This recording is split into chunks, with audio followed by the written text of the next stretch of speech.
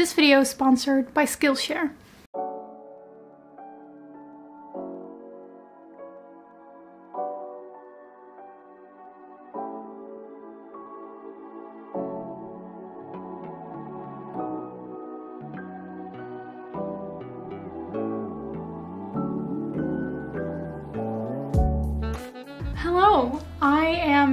Enjoyer of fiction. I love stories, but once in a while I just really enjoy a good non-fiction book, just to learn something new, you know. So I thought it would be fun in this video to share every little thing that I've learned from the non-fiction books that I've read. I'm currently staying at my parents' house for the summer, so we first have to travel back to my uni room where I have all my books so I can show them to you. I've read more nonfiction books than the ones I'll be sharing in this video, but I just chose 12 books that I did get a very distinct message from, or that has like one thing that's just really stuck with me. And by sharing that, maybe you also learn a new thing. The thing with nonfiction is that of course there's substantially more information in them than just one message, but I think it's interesting that everyone who reads a book probably has a different thing that stuck with them the most. And in this video I'm simply sharing mine. Okay. Also, I just want to say that just because I'm sharing these books in my video doesn't mean that they are the best nonfiction books I've ever read. There are some great ones that I read that I couldn't really boil down to just one message or one thing that has stuck with me, um, so that it's not in this video. Okay, so let's begin with my favorite nonfiction book. This book explains the thoughts of Taoism through Winnie the Pooh. And I mostly really love its message about the importance of simplicity. Oftentimes, especially in Western countries, complexity is seen as better and deeper and more intellectual, but often it's just unnecessary. And in the thoughts of Taoism, actually the more simple things are seen as better.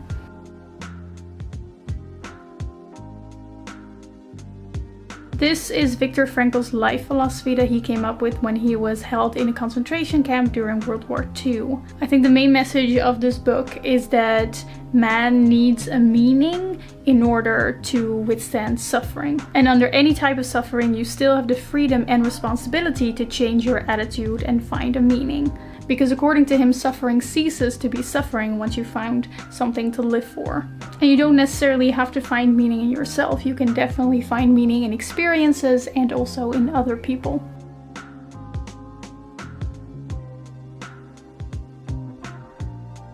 So this book is kind of a summary of a bunch of continental philosophers combined with a bit of biographical information on them. And of course I've learned many different things in this book, like all the different philosophies from these philosophers. But the main thing that I learned from this is that if you want to understand philosophy, it is so useful to also kind of understand a little bit about the philosopher's life because it usually hugely makes sense with the philosophy that they developed. I remember reading this book when I was also taking a class on continental philosophy and just reading about these philosophers' lives may be able to retain all the information even better.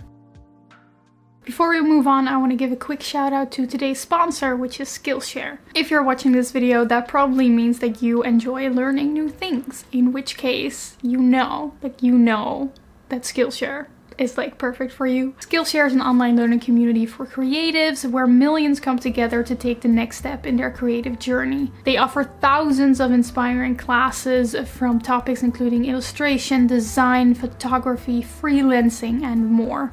I've been really enjoying Ali Abdaal's masterclasses on productivity. I even make notes on them and I revisit those notes quite often about like getting into the workflow, that stuff being more effective. And the first 1000 of my subscribers to click the link in my description will get a free trial of Skillshare Premium membership so you can start exploring your creativity today. It's a perfect way to end the summer. Now back to the books.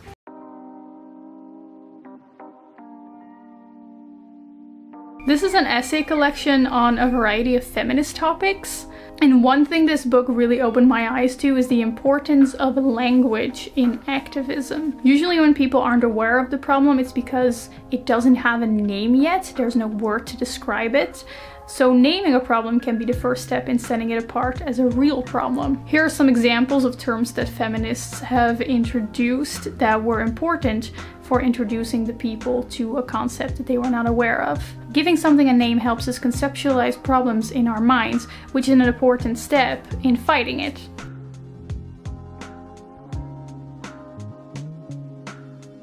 This is a quick book about hope when everything seems to go wrong. The main thing that I got from this is that we shouldn't be held back by striving for a perfect world and then feeling let down when the world doesn't end up perfect. We cannot create a perfect world, we can only create a better one. And I really appreciated this quote that was shared in the book. Utopia is on the horizon. When I walk two steps, it takes two steps back. I walk 10 steps and it is 10 steps further away. What is utopia for? It is for this, for walking.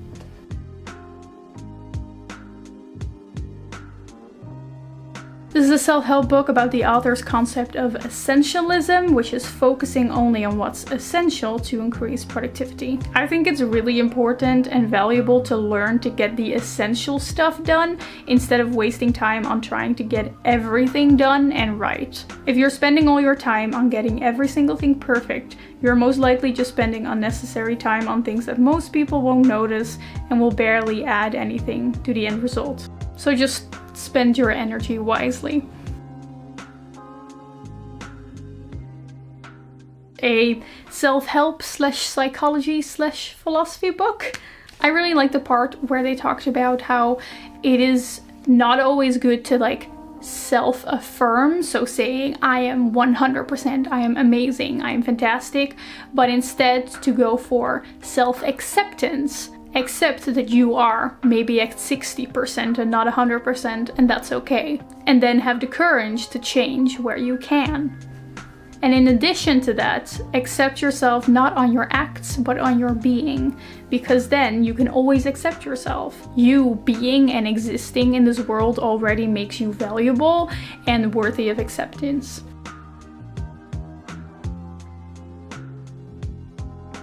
This is an essay collection on feminism, racism, film, and all sorts of media. I actually mostly really like this quote at the beginning, like the introduction to the book. We hold feminism to an unreasonable standard, where the movement must be everything we want and must always make the best choices. When feminism falls short of our expectations, we decide the problem is with feminism, rather than the flawed people who act in the name of the movement. The problem with a movement is that often they are associated with the most visible figures. It just really reminds me of like people who completely denounce the idea of feminism because they've seen like a few feminists that they don't like and then they just completely disregard the, the entire idea of feminism.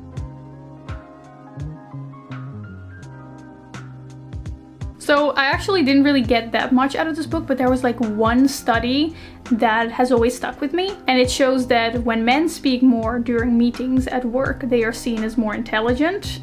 But when women speak up more in meetings, they are seen as less intelligent than those who do not speak up. That's something to think about.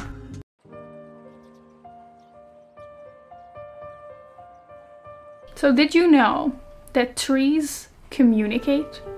for example, when at one part of a forest the trees are being eaten by, for example, giraffes, they can send signals that lets the trees further down the line know that there's danger coming and then those trees can create kind of a substance in their leaves that make it distasteful to animals so they will stop eating them. That's really cool. I just think that's a really cool fact.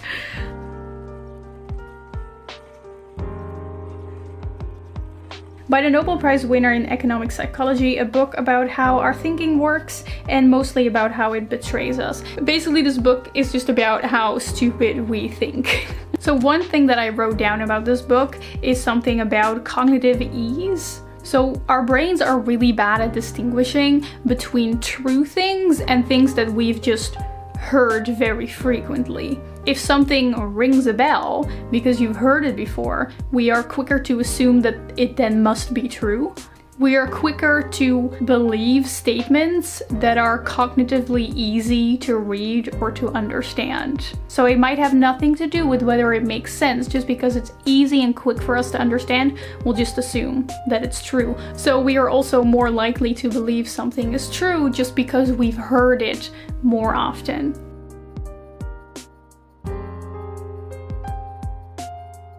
This book is a plea for a more positive view of humanity. So you know the famous Stanford prison experiment in which participants got divided into prisoners and guards, and the guards turned cruel and power-hungry. It's the experiment that's taught in school very often as an example of how people easily turn onto each other and do bad things when they are given permission. Well, turns out it was a really bad experiment and the results should not be taken seriously. It was originally conducted to test the effects of mean guards on prisoners, so the guards were already encouraged to behave badly. Actually, most of the bad things that the guards did were conceived by the student who came up with the idea of the experiment. And on top of that, the researcher that conducted the experiment also played in the experiment himself, which is breaking one of like the most basic rules of research. The conductors of the research should never interfere with the research, let alone participate in it. So this was not a reliable experiment at all.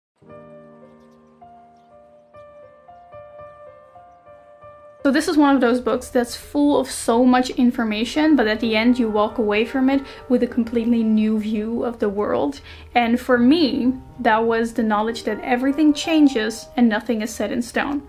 Through showing the history of humanity from prehistoric times to now, this book shows how societies and norms and practices constantly change. It shows how new most of the things that we currently deem as normal in society are. I think we're all very prone to looking at the world around us and making the argument of that's just how things are, but in reality, that's not how things are, and they're probably very new, and things and systems can always change if we want to.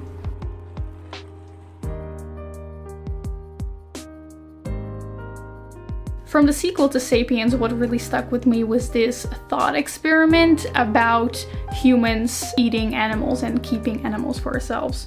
It goes like this. So the reason we often give to justify killing and keeping animals for our own is that they are inferior to humans, they are of inferior intelligence, and therefore it's okay for us to have power over them. So the question is, if an alien species more intelligent and capable than us humans invades Earth, does that mean that they are just completely justified in enslaving us? Or for example, if we create an artificial intelligence that becomes more intelligent than us, according to that logic, we should just let them use us because we are inferior to them.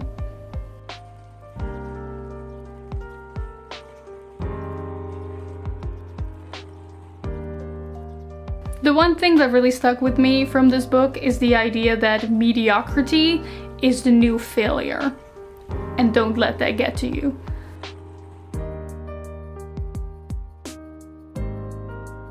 So I always keep thinking about this experiment that was mentioned in this book. It was an experiment where they just gave 3,000 pounds to 13 homeless people. And it turns out that no, they don't just end up spending it all in drugs. Instead, they got their lives back on track. They took courses, went to rehab, visited family, and after one and a half year, half of them was no longer homeless. And the best thing, in total this experiment cost less than the usual cost of homelessness help and regulation. So all this money that we spend on homelessness regulation would be way better spent on just homeless people.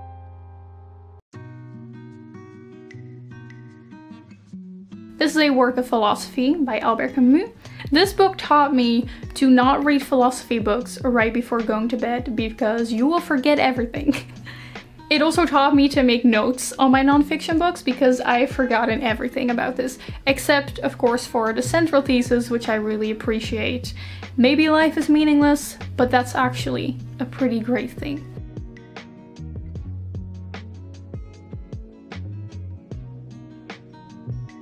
Here's a story that the author shared that really stuck with me. So, it's the story of a company that hired an important expert in the field. Because they were waiting for a new project he could work on, they created all these other difficult things that he could already work on in the meantime. But instead, the men decided to take the waiting time to repaint the walls in the building because sometimes it's better to do something simple and beneath your expert level if it's necessary and actually useful instead of just doing difficult things that don't actually need to be done.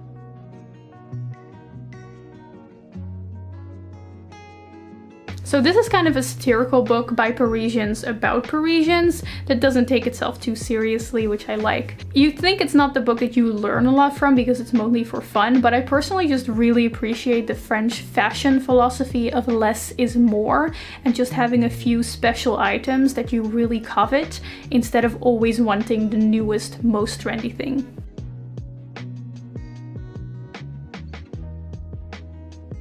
And lastly, we have a book about climate change. I have two important things that I want to share from this book. The first thing that we need to all be aware of is that it's mostly poorer countries that are getting hit and are already being hit by climate change, since these countries lie in hot places or areas of political unrest, and these problems will only be aggravated by climate change. And the second thing is that climate change is making us realize that there is no division between man and nature, However, you can tell that we're really trying hard to not face that reality by the way we talk about the repercussions of climate change. Everywhere you hear about how insects are dying, how the coral reefs are affected, how polar bears are going extinct, but we really shy away from talking about how this is already affecting us and how people are already dying from heat waves, hurricanes, and failed harvests through drought.